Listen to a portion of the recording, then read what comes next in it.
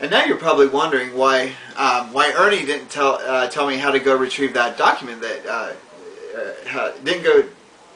Did, I'm sorry, didn't uh, tell us how to retrieve that document that he saved. Well, now I'm going to show you. Okay.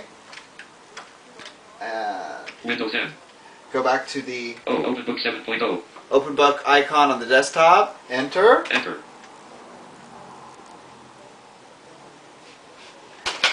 Now just Welcome to OpenBook version oh. 7.0. Now, rather than hitting the space bar to uh, to scan, I'm just going to go to the Alt key, File.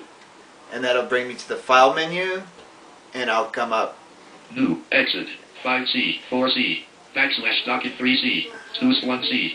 I'm looking for the, uh, document that I just saved. Backslash Ernie. Backslash my documents. Backslash paper 1. It's paper one. That's the one I just saved. So all I'm going to do is enter there, and 1. A psychol experimental and there it design worksheet. That's the that's the document I just saved, and it's been saved in um, in the File menu, um, and it's very very simple. And like I said, if you want to read the whole document, just press the the Enter bar on the numpad. Experimental design worksheet 1.